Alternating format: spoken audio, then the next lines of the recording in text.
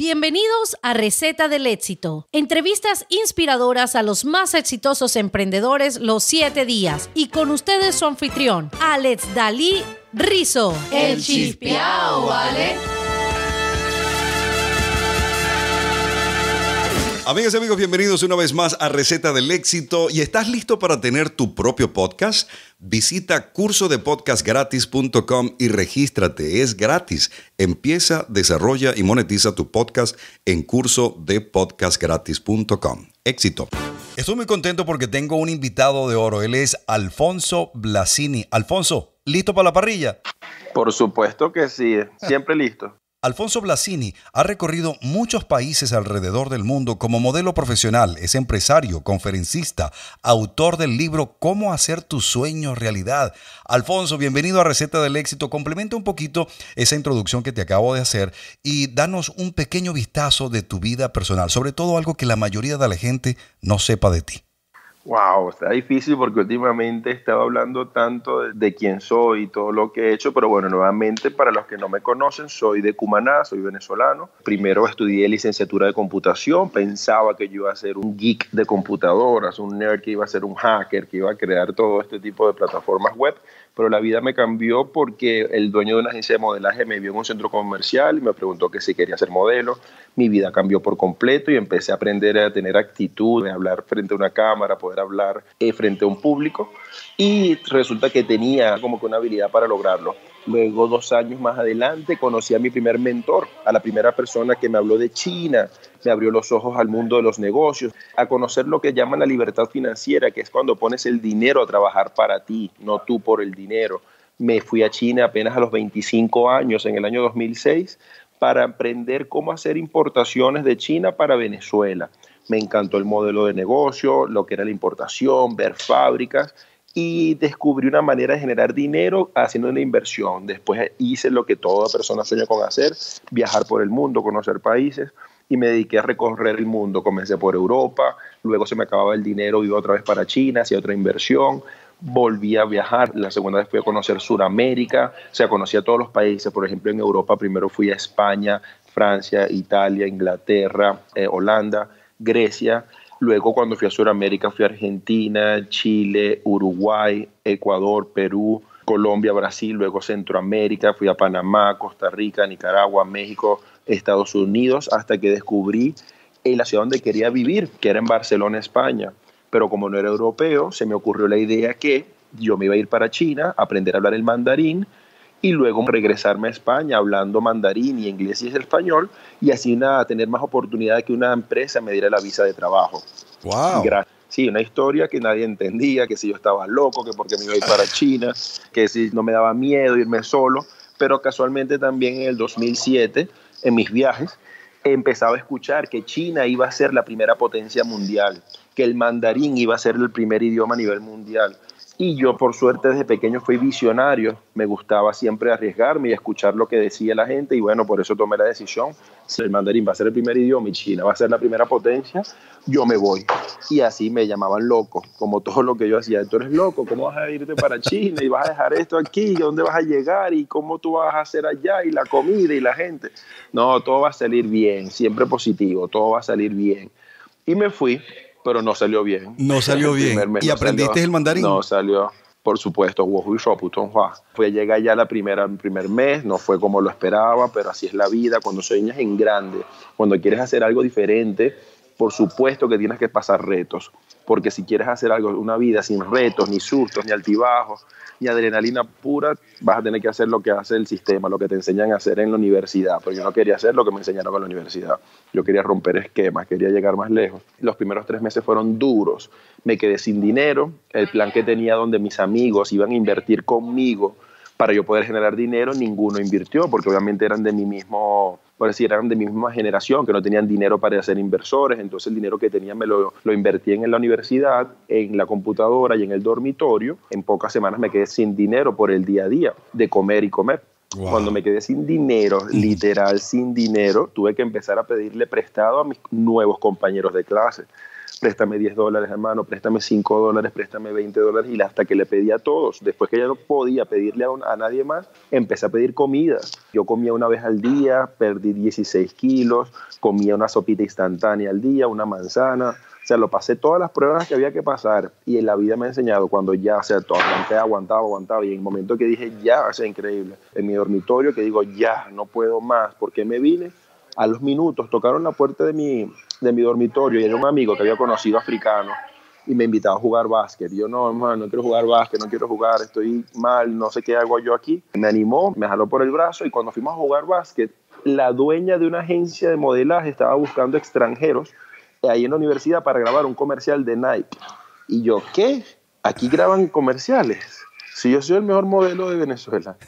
Y en efecto, cuando fui para allá, en vez de ser un extra, pasé a ser un principal. Pasé de no tener dinero a ganar. En Venezuela, cuando tú grababas un comercial, te lo pagaban a los dos meses.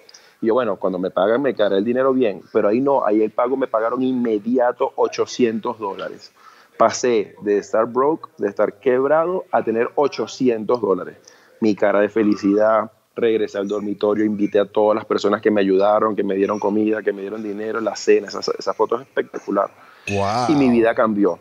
Alfonso, ¿tú tienes algún plato, alguna receta que recuerdas de niño ¿verdad? Que preparaba mamá o papá o la persona que estaba a cargo, favorita, que tú decías, wow, sí que me encantaban las arepitas fritas estas. ¿Tienes alguna en especial?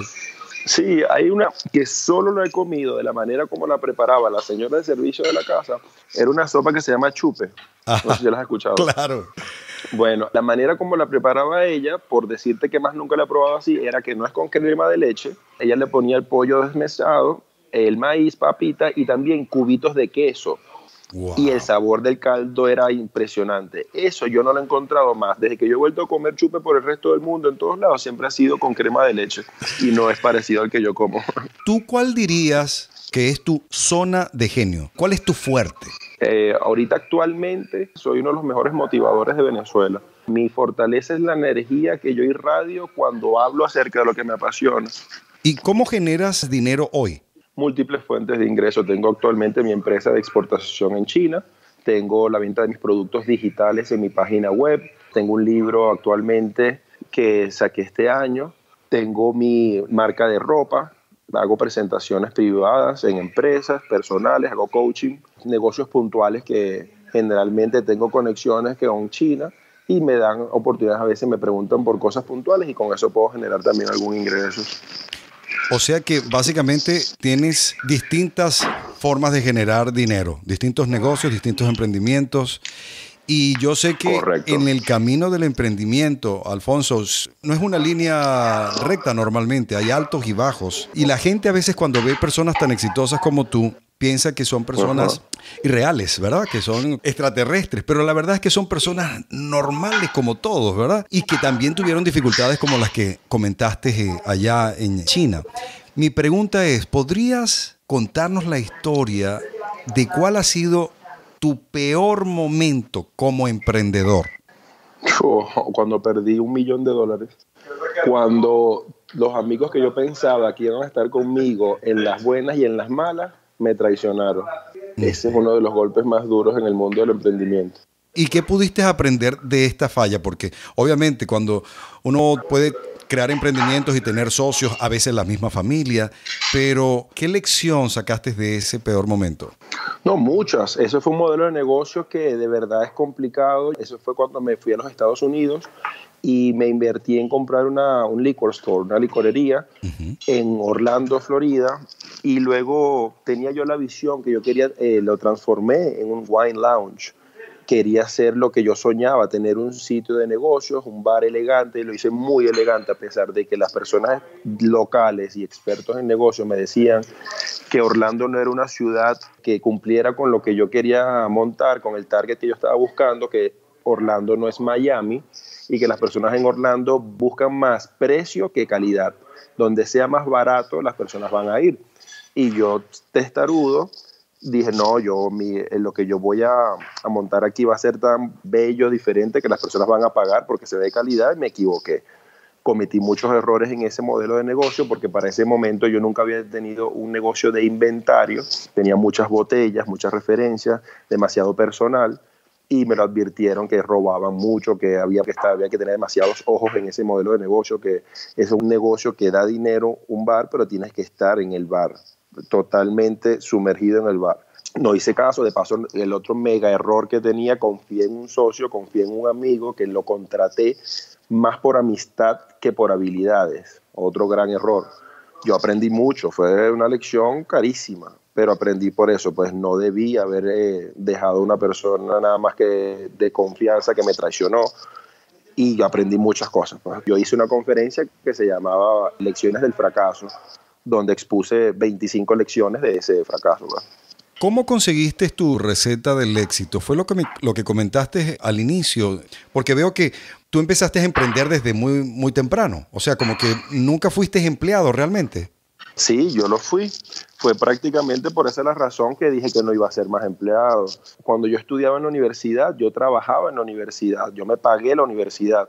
Trabajaba de 8 de la mañana a 5 de la tarde y después veía clases de 6 de la tarde a 11 de la noche. Yo pasé toda la que se aprendí, lo que era ser empleado, trabajar con un jefe, escuchar regaños. Perfecto. Y por suerte cuando salgo que empiezo en el mundo, yo me gradué de licenciado en computación y yo iba a empezar a trabajar en, en, una empresa como IBM, que en ese momento era la pionera en computación, HP. Pero por suerte, como te conté antes, como cambié el mundo del modelaje y aprendí lo que era trabajar nada más en horario. Entonces trabajé de modelo, fui promotor de marca, fui bartender y desde ese momento dije que yo no iba a trabajar más en oficina y en ese momento yo generaba más dinero, yo ganaba más dinero que mis amigos que trabajaban en oficina. Entonces desde ese momento aprendí que yo no iba a trabajar más del modelaje, ya sea, siempre prácticamente iba a seguir en eso. Luego descubro las importaciones y paso otra vez a ser yo mi propio jefe. Desde ese momento yo sabía que, o sea, yo sabía que yo no iba a trabajar más nunca para nadie. Y bueno, seguí trabajando en importaciones hasta después de importaciones pasé al marketing digital, eh, montando oficinas de negocios, o sea, siempre mis empresas. ¿Cuál podrías decir tú ha sido hasta ahora, porque vienen muchos más, pero hasta ahora, cuál ha sido tu mejor momento como emprendedor? El día de hoy. En el 2017, cuando tenía, mi, los tenía mis negocios, tenía la empresa en China, tenía mi bar en Orlando, tenía la empresa de marketing en Barcelona, tenía mi empresa de importación de insumos médicos en Dubái, tenía mi empresa de importaciones en Venezuela. En el 2017, por una experiencia de muerte, escalando una montaña en Bora Bora, después de cinco horas, casi llegando a la cima, me resbalé y quedé aguantado como en las películas de una rama, que si yo me soltaba de esa rama, me mataba, porque lo que había abajo era el precipicio. Y como en las películas, me quedé congelado, me entró una visión que fue la que me dio el cambio en mi vida, recordando las personas que me habían dicho que yo tenía un talento, yo tenía un estilo de vida que yo debía enseñarle al mundo, que de la manera como yo viajaba, conocía gente que era simpático, tenía empresas, vivía feliz, todo era positivo, que eso yo tenía el deber moral y social de enseñarlo. Me dio fuerza, me volteé y subí hasta la cima por alguna fuerza superior y saqué mi teléfono y dije a mis seguidores, ahora me voy a dedicar a cambiar vidas, me voy a dedicar a enseñarles cómo yo lo hago, todo lo que he hecho por el mundo para que ustedes lo puedan hacer también. Y después yo digo, ¿y yo cómo voy a enseñar esto? O sea, porque fue mi primera pregunta cuando la primera persona me dijo a mí que yo tenía que enseñarlo. Yo, pero ¿y cómo yo enseño algo? Yo, o sea, esto es mi vida natural. Yo no sé cómo voy a enseñarte cómo ser simpático, no sé qué decirte, eso soy así.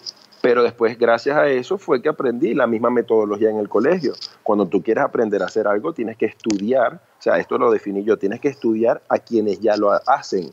Empecé a averiguar quiénes eran los motivadores, porque me di cuenta que yo era un motivador, entonces empecé a leer acerca de Tony Robbins, empecé a escuchar acerca de Gary Vee, de Yokoi Kenji, Juan Diego Gómez, empecé a estudiar a personas que hacían lo que yo quería hacer, leer libros y más, o sea, naturalmente empecé a decir las cosas, ok, primer paso, tienes que borrar todo lo negativo de tu vida, tienes que borrar esas cuentas tóxicas, tienes que dejar. La gratificación diaria que yo siento desde que yo empecé mi carrera de motivador, los mensajes que a mí me mandan diarios, mis lágrimas se salen, Alex. Nunca había sentido un sentimiento tan genuino, tan natural, cuando personas que ni conozco me escriben unos mensajes tan hermosos, porque si yo te pudiera ver en mi cuenta un post que hice, que sale la carta que me manda una chica de un pueblo de Barquisimeto, imagínate un pueblo, y me dice lo mismo que yo dije en esa montaña en el 2017, que dije, me voy a dedicar a cambiar vidas. Eso fue en el 2017. Esta niña en el 2020, que no sabe quién soy yo, que me vio por un programa en televisión de portadas,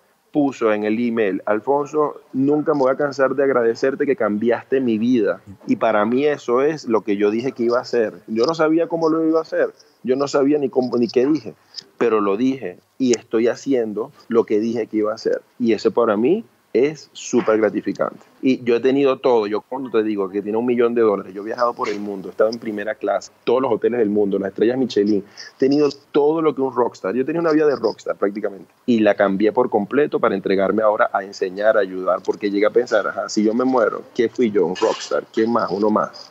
Pero yo no quiero ser eso, yo quiero ser de verdad una persona que dejó algo, un que impacto. enseñó un impacto, una persona que hizo un cambio, que dio de verdad y dejó un legado positivo en el mundo, no solo vino a disfrutarlo, estoy haciendo lo que me enseñaron en mi casa, a dejar las cosas mejor que como las encontré. Entonces yo me quiero ir cuando me toque irme de este mundo, haberlo dejado mejor que como lo encontré. Una pregunta, Alfonso, ¿a ti te gusta el picante? Muchísimo. ¿Verdad? ¿Ya qué le pones picante? ¿A las empanadas, a la sopa, al sancocho? No, mano, a la quinoa, a los granos, al arroz, a la pasta, a la empanada, a la arepa. Yo, Qué yo- bueno. yo preparo un picante toda la semana, todo le pongo picante. ¿Verdad? Bueno, vamos a ver qué tal te va en la ronda picosa. Y antes de continuar con la ronda picosa, hagamos una pequeña pausa para hablar de nuestro patrocinante. Si eres dueño de un restaurante o negocio y quieres bajar los costos al mínimo, ahora puedes ahorrar hasta un 95% de los cargos que pagas en tu merchant account cada vez que un cliente te paga con tarjeta de crédito. Te presento unetepaylo.com. Podrás aplicar comisiones de servicio a compras o pagos que hagan en tu restaurante o negocio y si lo deseas, ofrecer un descuento a los clientes que te pagan en efectivo. ¡Wow! ¡Qué alivio! Con unetepaylo.com bajarás tus cargos de procesamiento de tarjetas de crédito o merchant account al mínimo. Visita unetepaylo.com. Paylo es P-A-Y-L-O y solicita gratis tu estimado de ahorros. unetepaylo.com. Usualmente como emprendedores queremos hacerlo todo nosotros mismos, pero eso no funciona. Mi pregunta, Alfonso, ¿cuál es tu mayor debilidad? Eso que delegas. Bueno, a mí justamente en eso, esto me pasa ahorita que tengo que hacerlo es responder los comentarios que tengo de todos los seguidores en Insta, en las redes sociales. Pues. Ok, ¿alguien a quien admiras y por qué? Actualmente una persona se llama Yokoi Kenji, es un colombiano japonés y su estilo natural de cómo él enseña, yo creo una empatía, una gran empatía porque como yo vengo de China, entonces sus cuentos japoneses son muy parecidos a mis cuentos chinos. ¿Usas una aplicación en tu teléfono celular o en tu computadora que te ayuda muchísimo para lo que estás haciendo en tu éxito y que quisieras compartirla con gente de éxito? La verdad, bueno, las aplicaciones, dos de ellas que son para edición de videos y edición de fotos, que son actualmente algo que todos tienen que aprender a manejar. O sea, la habilidad de tu poder editar una foto inmediata, o sea, mientras más rápido aprendas a editarla, eh, más efectivo vas a poder ser en tus redes sociales. Como todos sabemos, las redes sociales ahorita lo que tú debes tener impecable. La de video se llama Video Show, es una app que van a ver que es de color anaranjada y la de la foto se llama Photo Grid, que te permite hacer varias como montajes. Esa Photo Grid tiene como cuatro colores en la app. De resto, la que yo utilizo mucho, que trae el teléfono sencillita, es la de reminders, recordatorios de iPhone, donde tú puedes anotar toda tu lista de quehaceres en el día y cuando las termines, la tocas, ella se subraya y te da esa sensación de que lograste uno de tus metas del día. Es lo que yo promuevo. Tú tienes que anotar todo lo que tienes que hacer en el día para cuando lo hagas y lo taches, esa sensación es para mí de satisfacción de un logro objetivo. Alfonso, ¿en qué proyecto estás trabajando y que estás tan emocionado que te quita el sueño en las noches? Quiero ser presidente de Venezuela. Qué bien, qué bien. ¿Cuál fue tu primer emprendimiento? Bueno, cuando vamos a emprendimiento, cuando fui a China, que traje mercancía, me traje unos cubitos de hielo, unos cubitos plásticos que simulaban un cubo de hielo para meterlos en unos tragos y cuando los metías en el trago se apagaban. Fue un producto chino malísimo que traje y todavía nos reímos de eso. ¿Verdad? Y otro más, pero para que te rías, cuando me fui a Mérida a comprar cebolla. ¡Wow! Y esa historia, bueno, para reírte, cuando iba a Cumaná supuestamente íbamos a ser millonarios, la compramos en Mérida muy barata y el camión se accidentó. No nos bañamos en dos días, compramos las benditas cebollas, se volvió a dañar otra vez la pick-up y cuando que íbamos a venderlo supuestamente allá, no me acuerdo, vamos a suponer que allá en Mérida la compramos en 3 mil bolívares y le íbamos a vender en, en Cumaná en 20 mil bolívares. Los números eran mágicos. Cuando llegamos a Cumaná, bueno, empezaron esa guerra de, de gente que revendía. Yo la vendo a 20, yo a 18, a 17, la vendo a 15, a 10 mil el kilo, a 5 mil el kilo. ¿Qué? ¿A 5 mil? ¿Cómo que a 5 mil era 20? Y empieza ese remate y no vendes nada. Tuvimos que regalar la broma por 1500. Perdimos plata. Mira, eh, y este emprendimiento que tienes actualmente, todo esto que haces, ¿no? que tienes múltiples emprendimientos, múltiples negocios y empresas, ¿te hubiese gustado intentarlo antes? Totalmente. ¿Qué te detuvo? Que no sabía. Vamos a suponer que es otra cosa, otro de los consejos que le puedo dar a todas las personas. Si alguien, una persona te dice, wow, qué bien lo haces, deberías hacerlo profesionalmente, hazlo. Por ejemplo, más claro, el típico cuento de que le digan, ay, qué ricas esas pizzas, deberías montar una pizzería, hazlo. Qué bien cantas, deberías cantar profesionalmente, hazlo, porque si una persona vio tu potencial, significa que el mundo lo va a apreciar. Solo tienes que mejorar, solo debes practicar eso que te están diciendo que eres bueno. Entonces, a mí en el año 2016, o antes, no me acuerdo si fue 2015, fue la primera vez que me dijeron eso. Alfonso, tú tienes un talento de vida que deberías enseñar. Y yo no le hice caso. Y por no haberle hecho eso caso, no empecé antes este mundo de la motivación. Más de dos años retrasados. Eso es oro puro. ¿Qué me arrepiento yo de no haber ido a China a los 20 años? Esperaste a los 25. Entonces muchas cosas, lo que es mientras más rápido los niños, y ahorita tengo proyectos, o sea, como ya enseñar a los niños de 10 años cómo ser libre financieramente. Yo tengo un proyecto que voy a sacar dentro de poco que se llama, en mi página web ven mis productos digitales, yo tengo varias propuestas y ahorita voy a sacar el que se llama Gerencia de Familias, transformando familias en empresas donde les voy a enseñar cómo un papá, mamá, hermanita de 10 años y niñito de 6 años, niñito de 10 años, hermanita de 15 años, ellos cuatro pueden y deben constituir una empresa familiar donde van a trabajar con marketing digital, con canal de YouTube, la mamá administradora, toda la familia aportando y apoyando y trabajando en equipo para que quede más motivación que tú le digas a la familia, mira, quieren ir a Disney, vamos a los Roques, ¿Quieres conocer París? Bueno, todos podemos colaborar. Todos tenemos nuestras obligaciones en el día, niños colegios, nosotros trabajamos, pero a las 7 de la noche, sábados y domingos, la familia entera va a trabajar. Tú, chiquito, vas a estudiar qué es Kickstarter, qué es YouTube. Y tú vas a estudiar diseño gráfico, vamos a estudiar aquí todos. Mamá va a aprender administración en QuickBooks, va a aprender lo MailChimp con, va a aprender acerca de todo y todos tienen una función donde todos van a estudiar. Y en menos de tres meses ya esa empresa está bella formada, con una meta a largo plazo y en un año pueden generar dinero para toda la familia. Como están viendo, esto es un multivitamínico mental lo que hay aquí para los emprendedores con Alfonso. Alfonso, ¿tú dirías que esa es tu mejor lección de vida como emprendedor? Totalmente, es lo que te quiero decir. En el 2020 es opcional pedir trabajo, no es la única opción. Buscar empleo, nada. Ya en el 2020 tú puedes monetizar tu pasión lo que a ti te gusta, lo que sea que a ti te guste, y es más, mientras más raro sea, mejor, porque créeme, no eres el único. Lo que a ti te guste hacer, siempre hay una persona que va a querer que tú se lo expliques cómo lo haces o querer comprar lo que vendes tú a tu manera, porque ya ahorita hay personas que le gusta o estudiar de un profesor académico de un estilo todo cuadrado, ahora le gustan también escuchar a un chamo en chores que te lo habla más en tu idioma, más sencillito. Hay público para todos. Entonces, mientras más rápido tú entiendas que no estás obligado a trabajar para lo que te ofrezca alguien, más rápido vas a ser feliz. Cuando tú aprendas a trabajar en tu pasión. Dicen que somos nuestros hábitos. ¿Cuál es tu hábito de éxito? Meditar. Tienen que entender la meditación. La mente controla tu universo meditar, con el poder de la mente tú haces tus deseos realidad en segundos, que es lo que yo explico. Cuando tú meditas, tú aprendes cómo ser una persona positiva. Y número dos, ayudar. Todos los días ayudar. Cuando tú ejercitas el alma, ¿cómo ejercitas el alma? Ayudando a las personas. Y cuando tú ayudas a las personas, tú ganas moneditas de oro para la alcancía espiritual que después tú puedes canjear. Cuando tú pides al cielo, quiero algo, ya tú pagaste eso. No es que vas a pedir y después, bueno, si se me da, yo me porto bien. No, ya tú te portaste bien, ya tú tienes tus moneditas para cuando pidas al cielo, se te den tus deseos en segundos. Si tuvieses que recomendar un libro, porque sé que hay muchos, pero el libro número uno que recomendarías, ¿cuál sería?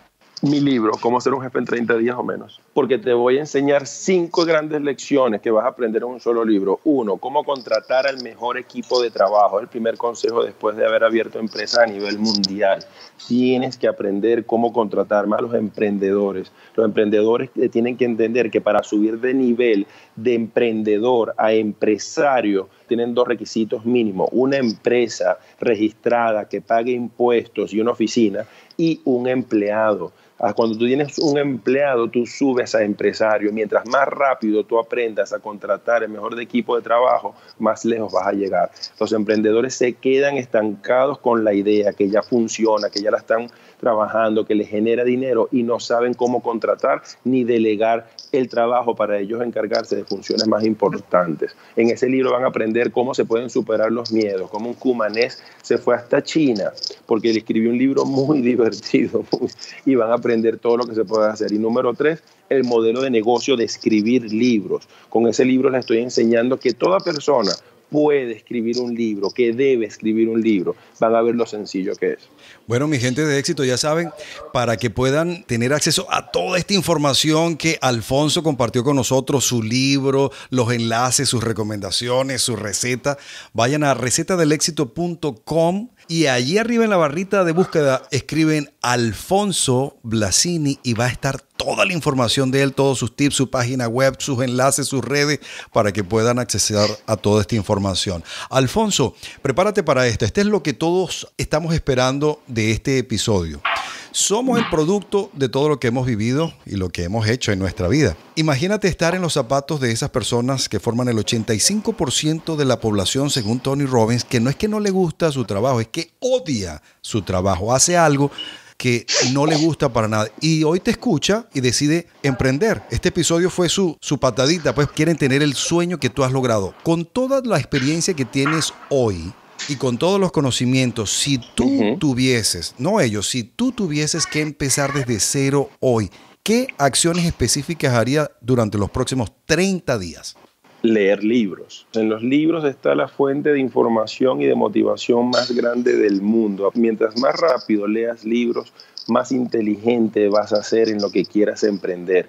Eso es un paso que no te puede saltar. La información, debes escuchar diferentes opiniones, estrategias, teorías para que tú mismo puedas escoger con cuál te vas a quedar. Se lo decía en una conferencia de Vengo al Futuro que yo diseñé, el primer consejo que yo me daría a mí mismo si pudiera viajar en el tiempo cuando tuviera 15 años es, Alfonso, lee libros. Los libros son los que me mantienen a mí motivado. Las personas que están negativas, que están deprimidas, claro, si estás viendo cosas negativas, ¿cómo vas a estar? Pero en cambio en los libros actuales, los secretos más grandes de empresas como Nike, Starbucks, Walt Disney, Amazon, todas te la están vendiendo en un libro por 20 dólares y te están dando todo lo que ellos tuvieron que pasar por 40 años para llegar a ser lo que son hoy. Lean libros, en los libros están. Segundo, crean en ustedes, repítanlo todos los días, creo en mí creo en mí, cuando estoy, creo en mí, yo lo voy a lograr. Lo más importante es que confíes y creas y estés seguro que lo vas a lograr. Mi gente de éxito, que quieres continuar esta conexión, esta comunicación con Alfonso Blasini. Hemos estado hablando acá por un buen rato, Alfonso y Alex Dalirrizo. ¿Cuál es la mejor forma para conectar contigo, Alfonso? Luego un consejo de éxito y nos despedimos. Actualmente por mi cuenta de Instagram, así como tú lo has dicho, Alfonso Blasini, Alfonso con S, Blasini con B de Barcelona, van a poder contactarme por la mensajería directa e igualmente por mi página web, alfonsoblasini.com. En esas dos me pueden contactar, que tengo el equipo y yo mismo estoy respondiendo prácticamente las 24 horas. Consejo de éxito, tienes que saber exactamente cuál es tu sueño, planificarlo y no descansar hasta lograrlo. Alfonso, qué gustazo. Gracias por tu tiempo, por tenerte aquí en Receta del Éxito, hermano. Ah, gracias a ti por la invitación. Para mí fue un honor y ya saben, todo lo que sea para sumar, cuenta conmigo. Mi gente de éxito, gracias por acompañarnos hoy. Visita recetadelexito.com para los enlaces a todo lo que hablamos con Alfonso Blasini en el día de hoy, las herramientas, su libro, su página, todas sus redes, herramientas de emprendimiento, entrenamientos gratis y mucho más. Será hasta mañana. Les habló Alex Dalí Rizo. El chispiao, ¿vale?